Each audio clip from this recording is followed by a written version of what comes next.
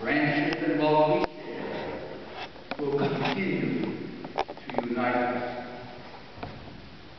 As we together break and share the wafer, I share with all of you a Christmas prayer that Christ enter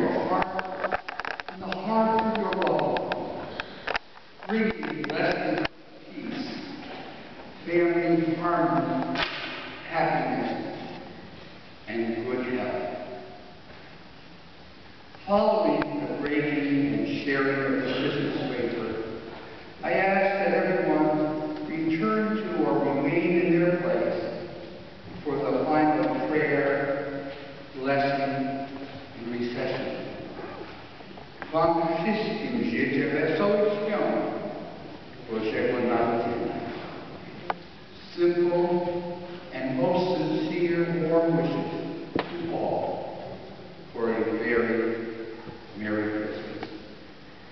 For